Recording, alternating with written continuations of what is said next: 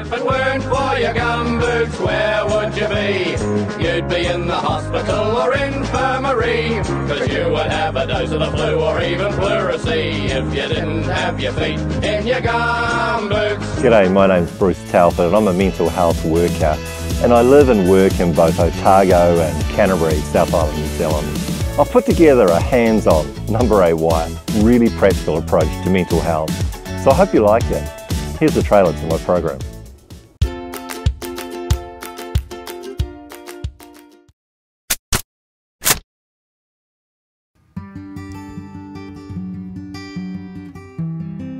Doing a things to do list before you go to bed. Deal with any worries or concerns or problems before you go to sleep. Put on an audio book and or do a visualization and or focus on a positive memory.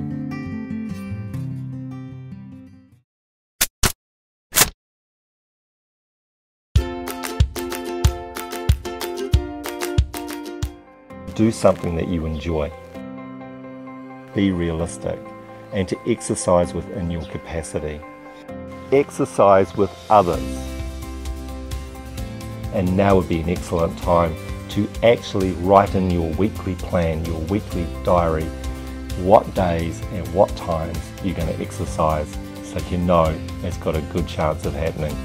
So that's an example of how someone could use the wellbeing plan to make sure they are getting the right amount of exercise for them and that it's scheduled so it happens. So now you could write in what is relevant to you and your situation for exercise. But if you're feeling depressed or you're just not feeling your normal self, it can be incredibly difficult to get the energy and the motivation to stay working and to stay active in your life. It's really important that if you're not currently working, that your day is full that you are busy and that you are active. So now would be a good time to decide how much meaningful activity you currently have in your life. Are you doing things that are important to you and that you enjoy or don't they exist in your life? They need to.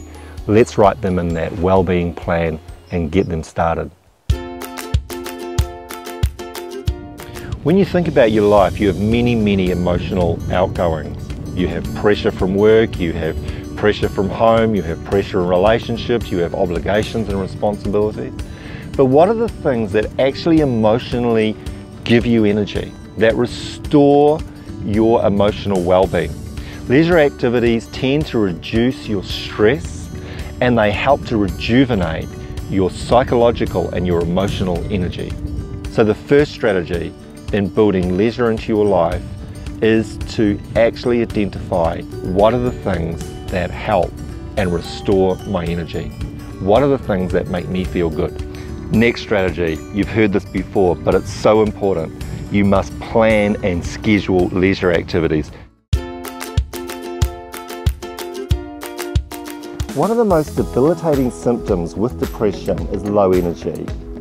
Having a nutritious and well-balanced diet increases your chances for higher energy levels and feeling fitter and stronger. In addition to this, it helps to boost your immune system and to stay healthier.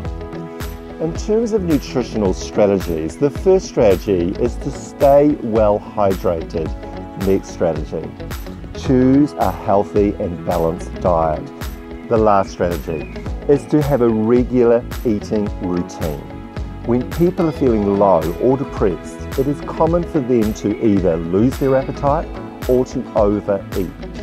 That is why it is essential to plan in regular times and quality of food to eat. The quality of our close relationships has a strong influence on our mood. I think most of us can relate to experiencing low mood and distress when in conflict with our nearest and dearest. It is reasonable to conclude that positive relationships have a positive effect on our mood, while negative relationships tend to have a negative effect on our mood. A person's ability to manage difference, disagreements and conflict is going to have a big impact on the quality of their relationships. And by investing both time and positive input, you are nurturing it, which produces a great environment for it to flourish and go the distance.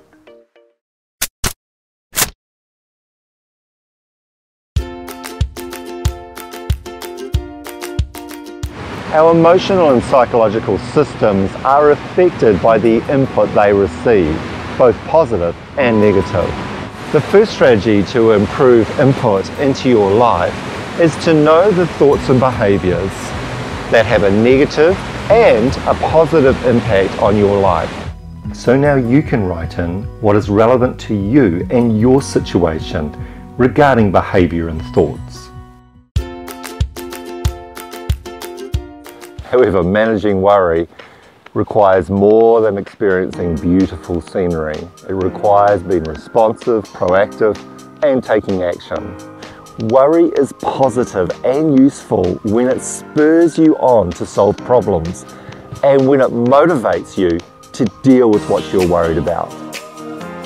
So that's an example of how the worry plan could work. Now you write in what is relevant to you and your situation. Then after you've done this, every time you notice yourself worrying about the problem again, just say to yourself, what's my action plan? And stay focused on that, which will bring a greater sense of control and progress.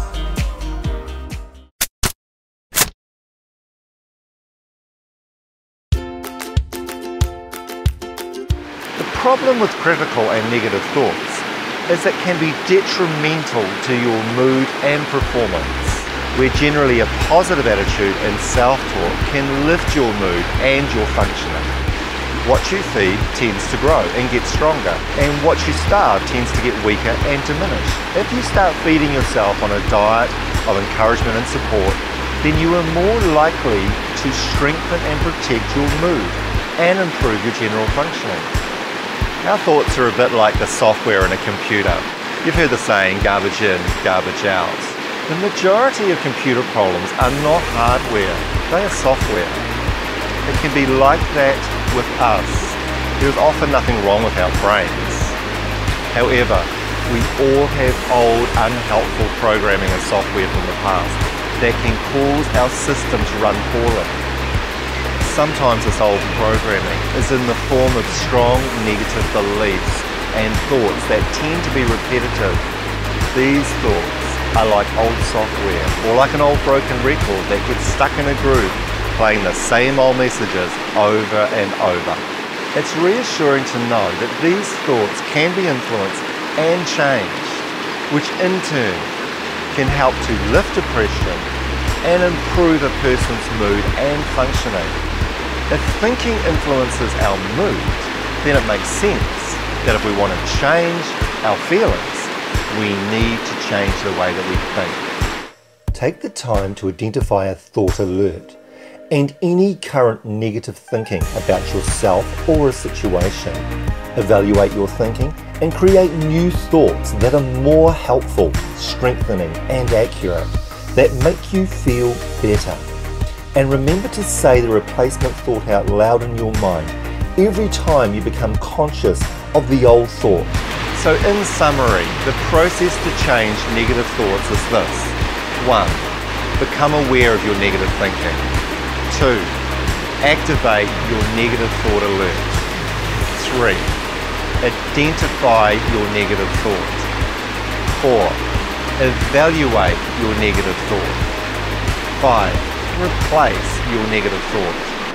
Six, say the replacement thought in your mind every time you are conscious of the old thought.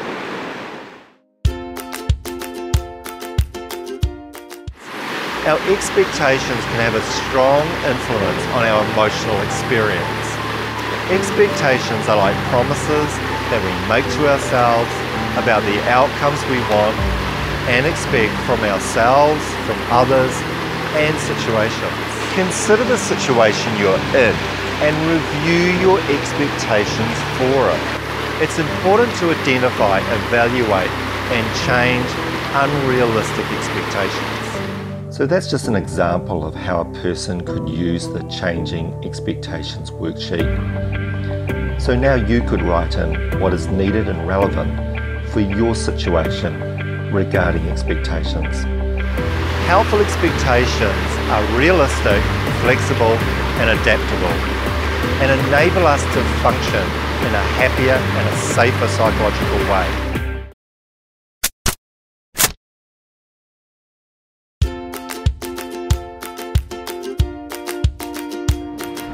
The first thing we need to know about emotions is like the ocean, they are changeable. They are also complex and influenced by many, many variables. So often in our lives we continue to re-experience and define ourselves by emotions that are associated with past mistakes or negative situations. Firstly, identify your past negative situation or mistake. Then ask yourself, is there anything that can be done to put things right? Then ask yourself, what can I learn from this experience? Then what can I do differently now and in the future because of this learning? And lastly, how will I cope with the effects of this past mistake or negative situation? By using this process, you are more likely to be able to take a positive learning from a negative past situation and thus become less affected by the negative emotions that are connected to that past situation. So now we are going to look at strategies to manage unpleasant and difficult emotions in our present. The fact is, people can hurt others emotionally and we can all be sensitive and vulnerable to being hurt by this. Learning to defend yourself emotionally is what's important here. Number one, try not to react in the moment. Push the pause button on your emotions by telling yourself this is just their opinion, it's not the truth or a statement of fact. Just because they are saying this does not make it right or true. This kind of thinking will help you to press the pause button on your emotions. If you accept or take on board or change your behaviour based on what other people say to you, then essentially you are living under their control and will lose control of your emotional life. You'll become like an emotional puppet on a string with other people pulling the strings and controlling and manipulating your emotions. I suggest you don't allow this to happen and take some personal control. Practice this applied process so that's just an example of how the emotional processing worksheet could work. Now you could use it to manage a current situation which you are finding emotionally difficult. So you have a choice to make.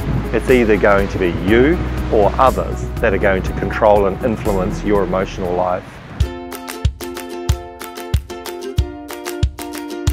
Our emotions can be affected by future situations which have the potential to negatively affect our mood. This life is also difficult like the river trip, and it is also wise to identify any high-risk situations, triggers or warning signs for depression and low mood and have pre-planned responses in place to manage these if they should occur.